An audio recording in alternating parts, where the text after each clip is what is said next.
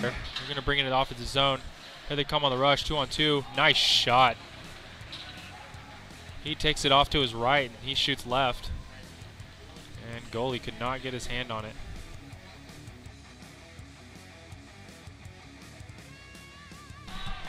Here's Wolf. He'll try the right side, cuts in, takes a shot, and he scores. Another strange angle goal for the Huskies. I don't know how these are beating.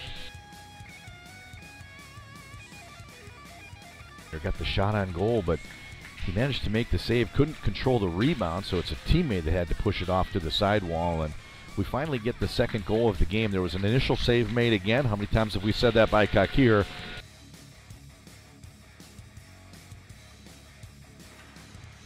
Flips the puck forward. Back towards neutral ice. It's kept by the Vikings.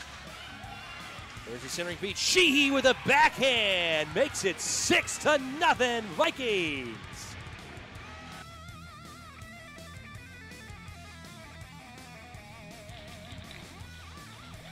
Reich takes his time. The pass, and a goal is scored.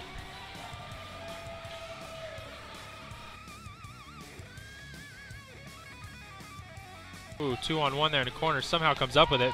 Nice backhand up into the the armpit of the goalie.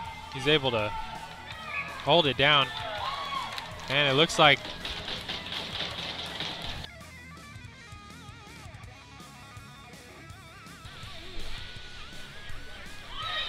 There's another goal by the Jets.